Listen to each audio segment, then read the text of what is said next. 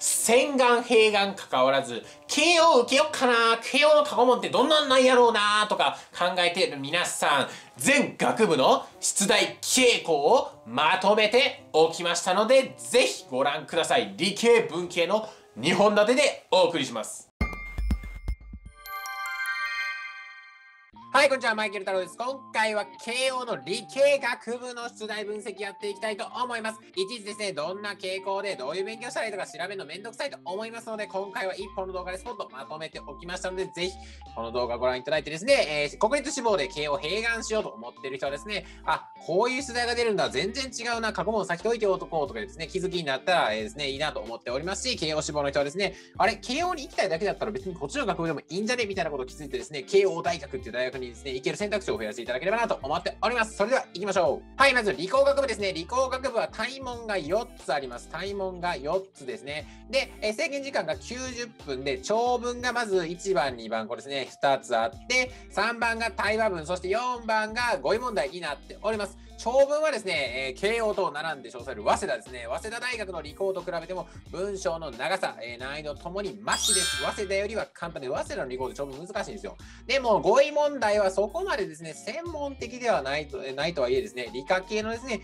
単語の意味について問うてきますので、なかなかの難易度の高さになっているかなと思っております。国立志望の人ですね、特に東大とか志望してると慶応併願すると思うんですけれども、えー、別にそんな直前期に過去問ペペって解いたらいけるやろうと思っていたら結構構足元をですね、救われることもあるかもしれませんので、特にこういう問題ですね、とかこういう問題については、えあらかじめ対策しておくように、過去問はですね、なるべく早くですね、え紙幣眼光を含めて見ておくようにしてみてください。それでは次ですね、看護医療学部に行きましょう。慶応看護医療学部ですね、大問7台、え制限時間90分というですね、おう、びっくり時間ハード系の、え出題になっております。えっ、ー、と、いろんな、え出題がされますね。合法文法、空所補充だったりですね、文章流だったり、文正序語彙、長文読解英作文と、本本当にバラエティ豊富なですね、出題になっております。各対問出題形式がバラバラです。ですが、えー、読解問題はですね、慶応英語の中では非常にですね、簡単、平易な部類になっております。ただですね、本当にここの、えー、ですね、学部ですね、えー、看護医療学部に関しましては、ただ一つ一つの対問にかけられる時間はそれほど長くないと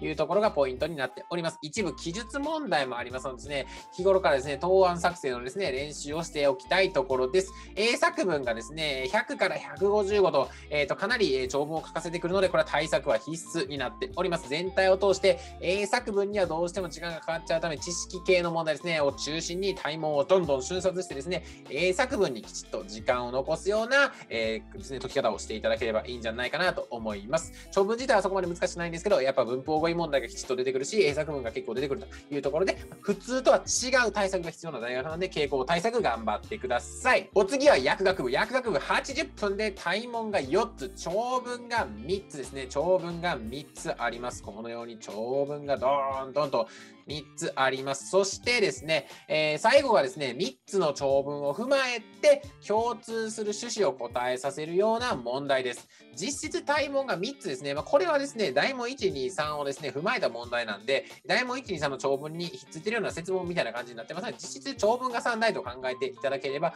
いいかなと思います。各対問ですね、2500語以上にわたる超長文が出題されます。自然科学系の文章が中心なので、受験生には馴染みのない語彙も多いと思います。時間を考えたら一問一問にそこまで悩んでいる時間はないです。記述メインで対策している国公立志望の受験生からしたらですね、医学部よりも取り組みづらいかもしれません。なのでですね、慶応の役を受ける人はですね、慶応対策っていうのをきちっとやっていてください。やっぱり慶応はですね、私立の中でも、え難易度が高い、え大学でございます。えー、そこまでですね、まあ、とりあえず受けときゃいいやろう、とりあえず受けとったら受かるやろうっていうのは本当に一部の超上位レイヤーの話になってくると思いますので、東大志望であってもですね、基本の数きちっとですね、あらかじめ対策しておけばきちっと実力が出せば通る大学ではあると思いますので、ぜひきちっと早めから過去問を見て、あ、適用してるっていうところ、こういう出題がされるんだな、あ、国立のニーズとは違うな、じゃああらかじめこっちの勉強もしておこうと、普段の勉強から勉強を変えてですね、きちっとこちらにも対策を向けていただければなと思います。最後はですね、医学部ですね。医学部は大問4題、制限時間90分、長文3つの英作文が1個ですね。ただただパラグラフごとの担当形式の説問が与えられるのではなくですね、英文和訳だったり和、和文訳、イ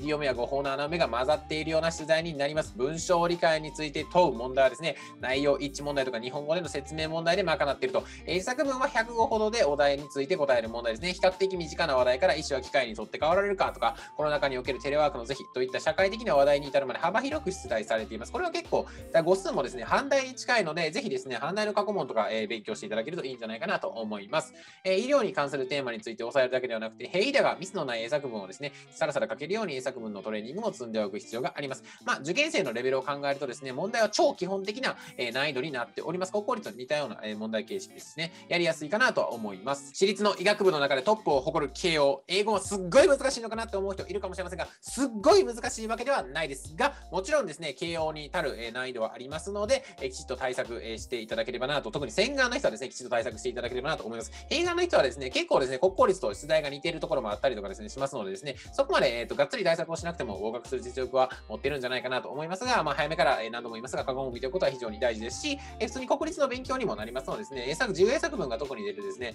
えー、二次試験を受けるような大学の人は、もうあらかじめあらかじめ、えーと、慶応の過去問を使って勉強することが、え、できると思いますので、そちらも活かしていただきつつという感じで対策していただければなと思います。ということで、今回はですね、慶応の理系学部の、えー、過去問のですね、取材分析を行ってきました。理工学部、えー、そして看護医療学部、えー、そして薬学部、そして医学部と、えー、4つの学部について解説していきました。えー、各、えー、学部ですね、結構特徴があるのが慶応の英語でですね、やっぱ各学部ですね、全然取材が違うので、あらかじめ国立志望の人も含め、あらかじめきちっと、えっ、ー、とですね、併願だからだとですね、手を抜かずですね、あらかじめもう今の時期から過去問買ってですね、過去問の傾向を見て、できればですね、実力があるならば、もうすでに解いて、あ、自分はここがすごい弱いなとかを確認して、えー、普段の勉強に活かせるようにしていただければなと思います。はい、ということで今回は慶応の理系学部の出題分析していきました。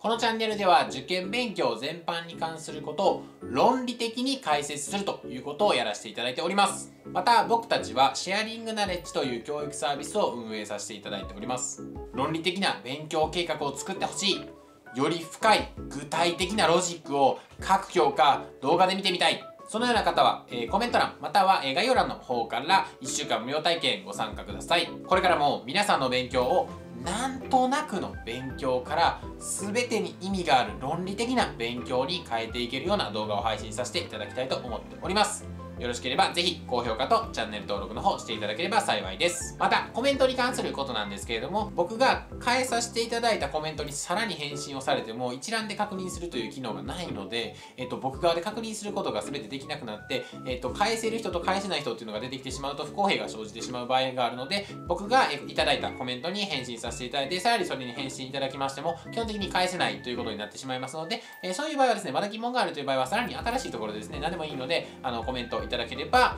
えー、そしてまたもう一回開催していただくことが可能なので、再度新たな動画にですね、またコメントいただけるとありがたいです。よろしくお願いいたします。明日の夢サポムービーズは？物理学校の授業ちゃんと聞いて勉強してて公式も一生懸命覚えてんのになんか模試だったら全然点数取れへんねや。なんか理科は学校の授業だけじゃスペース遅いって聞くしもうどうしたらええんや。お楽しみ